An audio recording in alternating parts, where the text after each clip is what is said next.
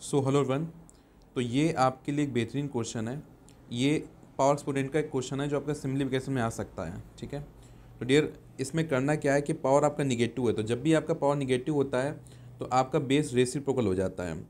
तो जैसे ये वन बाई थ्री है, इसका रेसिप्रोकल हो जाएगा थ्री तो ये हो जाएगा थ्री की पावर माइनस वन से हो गया प्लस वन पावर का साइन चेंज हो गया। फिर माइनस लगाया।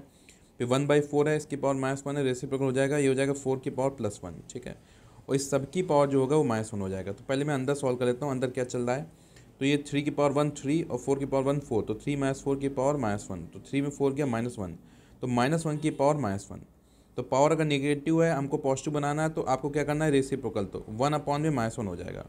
तो वन बाई माइनस वन का आंसर भी माइनस वन आएगा तो ये ए ऑप्शन करेक्ट हो जाएगा। तो इस टाइप के क्वेश्चन जो आते हैं पजलिंग वाले टाइप के होते हैं पजल करते हैं, गलती हो जाती है। तो इस टाइप क्वेश्चन को आपको बिल्कुल आराम से करने हैं कॉन्सेप्ट के साथ।